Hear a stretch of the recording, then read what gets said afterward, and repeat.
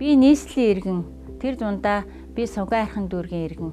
Сонгон айрхан дүүргтээ сүүлийн 20 гаруй жил ажиллаж амьдарч байна. Намайг бэлгээгийн оюурдан гэдэг. Би 6 хүүхдийн ээж, одонтой ээж. Тэр ч утгаараа нийгэмд өөрийн гэсэн байр суурийг илэрхийлж хүмүүнлэгийн ажлуудыг манлайлагч бүсгүүчүүдтэйгээ хамтран зохион байгуулж олон олон хүмүүсийн талархлыг хүлээж аваа. Энэ ажлуудаасаа дурдвал сонгоо айрхан дүүрхтэй өөрийн амьдардаг толгооттой толгоот гэрэлт амьдрал гэдэг төрийн бас байгууллагыг байгуулан ажилласан. Бас өвгөн ахваасаа өрөөлтөө гэдэг хөлөөбийг санаачлан зохион байгуулж маш үр дүнтэй ажиллаж байгаа.